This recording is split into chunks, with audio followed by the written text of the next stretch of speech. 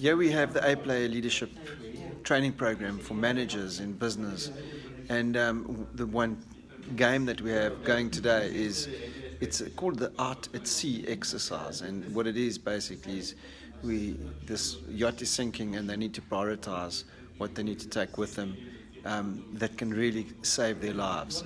And they do an individual one and then they do it as a group and they find out that the discrepancy is quite big. And when the discrepancy is big, um, you often find a lot of uh, conflict. So we, we teach consensus thinking in this exercise, and it's great because we get the guys to think a little bit. It's a fun exercise, they love it, um, and it really gets to drop some pulls and bombs on their learning and their growth.